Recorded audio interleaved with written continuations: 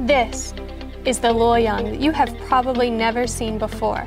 We at People's Daily Online are going to take you on an incredible journey through the city that transcends history, culture, and technology in central China's Henan province.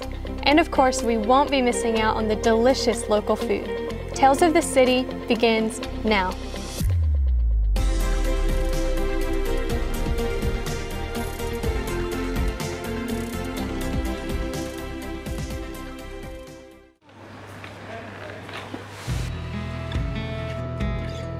How do you kick off a cold winter morning full of energy and passion for the day's work that lies ahead? A hot bowl of soup for breakfast might just be the answer. Luoyang locals are food connoisseurs when it comes to a variety of different soups, which exemplifies the most striking feature of Luoyang cuisine. I'm at a restaurant here in Luoyang. It's been open for nearly 170 years and it's famous for its soup. I'm with a friend. We're going to try some and see what we like. What kind is your favorite? I like mutton soup and tofu soup, but my favorite is beef soup. Beef soup.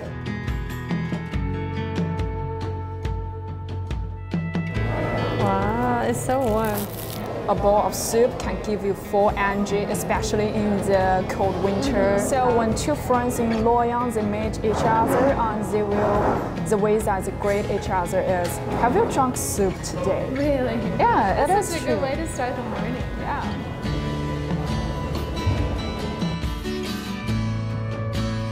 It looks like it's going to be spicy, but it's really not. It's very clear and very gentle. I can understand why people can take it in the morning to eat. Uh, welcome to Luoyang. And my ancestor founded this business in Qing Dynasty, and now I'm running this business. I'm very proud and honored to have a chance to make this meal to our Luoyang people. And hopefully, uh, one day we can make this meal to the world.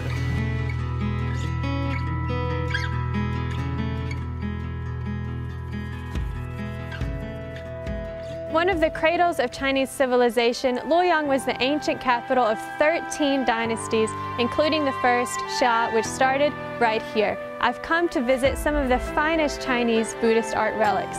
Longmen Grottoes has over 2,300 grottos, over 110,000 Buddhist images and figures, over 80 dagobas, and 2,800 inscribed tablets, created over 1,000 years ago between the Northern Wei Dynasty and Song Dynasty. The scenic area also introduced night tour programs in April to meet tourist needs. So stay for the night lights that will add more splendor to the historic wonder.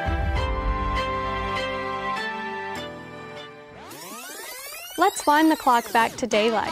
In recent years, Luoyang has dramatically boosted its cultural industry, intending to become the oriental capital of museums, with a total of 100 museums planned to be open for tourists and museum goers by the end of 2020.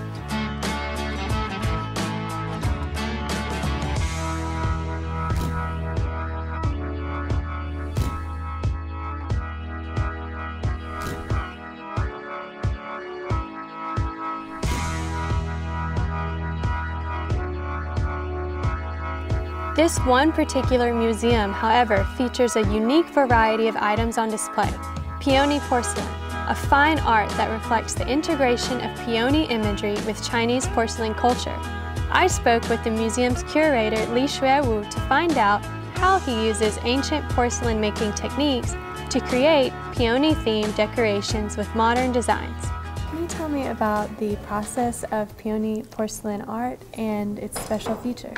第一是全手工，第二是严格按照牡丹的花型和姿态，啊，全手工制作。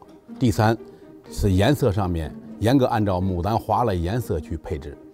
这制作过程中间，你看牡丹的花瓣特别多，所以说制作一朵花时间是将近三个小时一朵花。牡丹瓷的制作工艺基本上把中国的陶瓷，你看手工捏制啊、呃釉色呀、包括烧制啊等都涵盖了。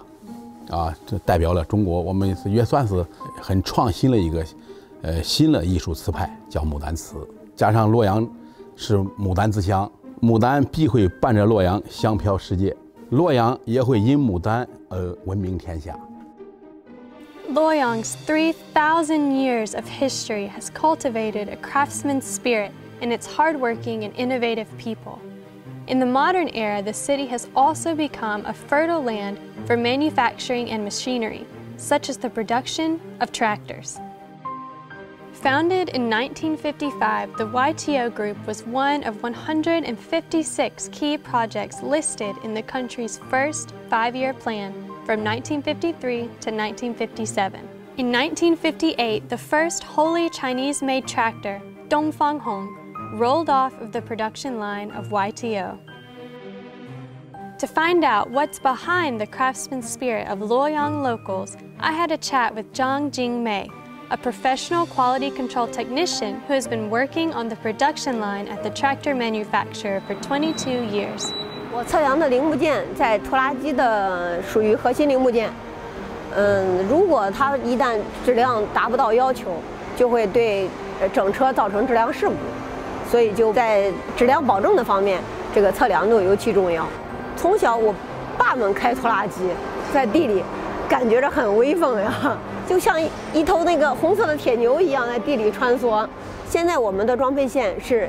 亚洲最先进的装配线，过去一个月才几台车，现在一天都能达到二百台，然后一个月最高的时候就是五六千台车。看着我们的拖拉机从小功率发展到大功率，从过去的机械换挡，现在是动力换挡，甚至说自动驾驶。我国拖拉机的技术变革创新，也印证了中国农业的飞速发展。The remarkable industrial transformation and upgrade. couldn't possibly have been achieved without countless selfless personal dedications.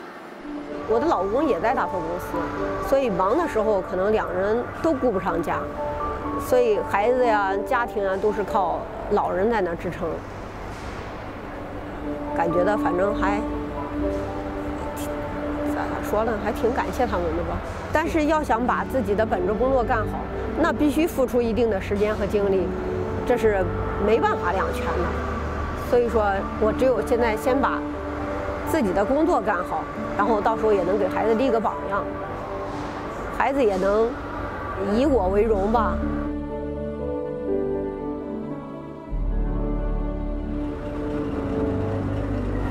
Thanks to freight train services, the tractors are transported in standard shipping containers and exported to European and Asian countries like Russia, Ukraine, and Pakistan.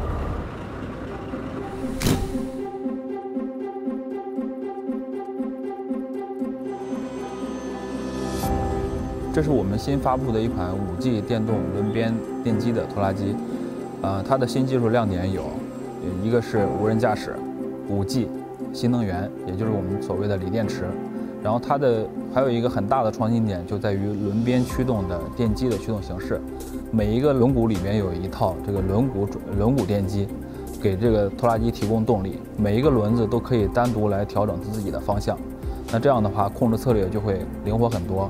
转弯半径会比传统的拖拉机要更小。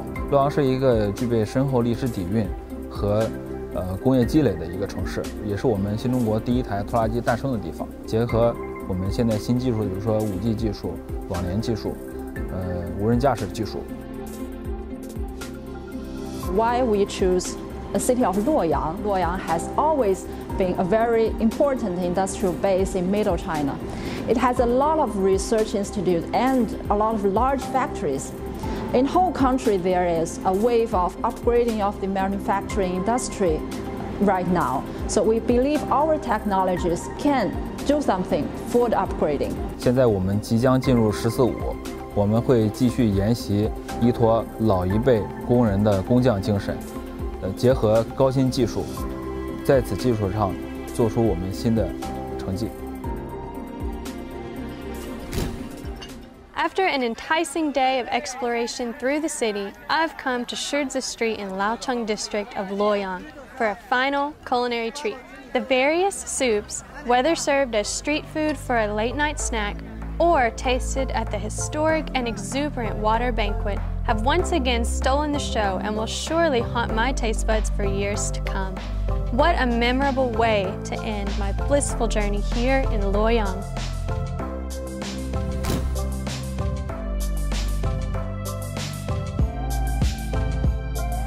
We've seen things from the first dynasty in China to now. Luoyang is forging ahead with innovation in manufacturing and so much more. I can really feel the pride the hardworking people of Luoyang have for the past, the present, and the future.